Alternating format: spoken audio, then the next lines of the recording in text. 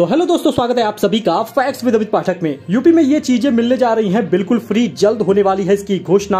आपको बता दें, हफ़्ते भर में आपको इसका लाभ मिलेगा। क्या है सरकार का नया निर्देश? जरा आप इस बात को ध्यान से समझें, क्योंकि यूपी में योगी सरकार एक्टिव मोड पे है, लगातार कुछ न कुछ नए फैसले लेते जा रही है। आपको पता होगा उत्तर प्रदेश में सरकार गठन के बाद योगी आदित्यनाथ एकदम एक्शन मोड में आ गए हैं। हर दिन कोई न कोई एक नया फैसला लेते हैं, जिससे जनता को सीधा लाभ उसको मिल सके।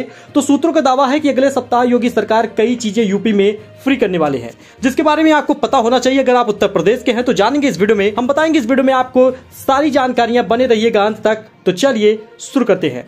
तो आप यहाँ पे देख सकते हैं, उत्तर प्रदेश में सरकार गठन के बाद योगी एकदम एक्शन मोड में आ गए हैं। हर दिन कोई ना कोई एक फैसला लेते जा रहे हैं, जिससे जनता का सीधा सरोकार हो। सूत्रों का दावा है कि अगले सप्ताह योगी सरकार कई चीज़ें यूपी में फ्री करने वाले हैं। जिनका ज़िक्र उनके घोषणा पत्र में किया था, इस बार उत्तर प्रदेश में सिर्फ़ बिजली ही नहीं, बल्कि ये पाँच चीज़ें बिल्कुल फ्री होंगी। तो घोषणा पत्र में किए गए वादों को लेकर अभी से तैयारियाँ शुरू कर दी गई हैं। बताया जा रहा है कि योगी एक एक करके सभी विभागों के प्रेजेंटेशन ले रहे हैं। इससे साफ़ अंदाज़ा लगाया जा सकता है कि जनता से किए गए वादों पर जल्द ही अमल होने वाला है। तो मुख्यमंत्री योगी आदित्यनाथ ने अपने हर चुनावी रैली में गरीबों को होली में मुफ़्त गैस सिलेंडर देने का बड़ा वादा किया था। भाजपा भले ही इस वादे को होली से पहले पूरा नहीं कर सकी, लेकिन पूरी उम्मीद है कि अब इस वादे पर ज़ोर दिया जाएगा। सीनियर सिटीजन महिलाओं के लिए मुफ़्त बस यात्रा, यानी जो साठ साल या उससे अधिक उम्र की महिलाएँ हैं, उनको साधारण से लेकर एसी बसों में मुफ़्त सफ़र का तोहफा दिया जाएगा। इसको लेकर सरकार ने कवायद शुरू कर दी है, बजट भी तैयार हो गया है और उत्तर प्रदेश सड़क परिवहन निगम ने इसको लेकर सर्वे भी कर लिया है। वहीं पर उत्तर प्रदेश में किसानों को मुफ़्त बिजली देने के वादे पर सरकार का ध्यान है।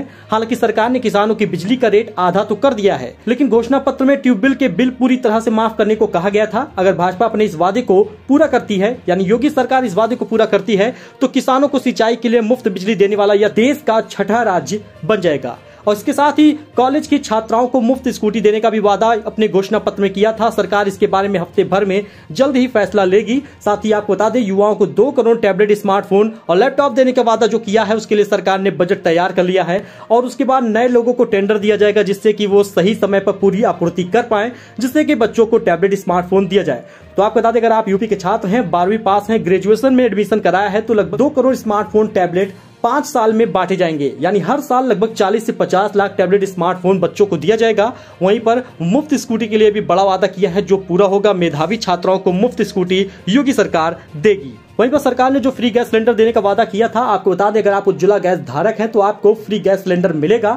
योगी सरकार ने इसका ऐलान होली से पहले देने का किया था, लेकिन आपूर्ति नहीं हो सकी। साथ ही इसका ना कोई बजट तैयार हो पाया, लेकिन सरकार ने अब इसका निर्णय ले लिया है। आने वाले समय में आपके खाते में पैसा ट्रांसफ़र किया जाएगा, अगर आप उज्ज्वला गैस धारक हैं। इसलिए अगर आपने गैस सिलेंडर बुक किया है तो आपको उसका पैसा मिलेगा। एक साल में दो फ्री गैस सिलेंडर है तो दो बार आपके खाते में पैसा पूरा गैस सिलेंडर का आएगा। इसके साथ ही जो फ्री स्कूटी का वादा है, वो भी सरकार पूरा करेगी। और किसानों को फ्री बिजली मिलेगी। ऐसी ही जानकारी के लिए आप हमारे साथ जुड़े चैनल को सब्सक्राइब करें। जैसे ही कोई लेटेस्ट अपडेट, नई जानकारी आएगी तो आपको उसके बारे में भी बताया जाएगा।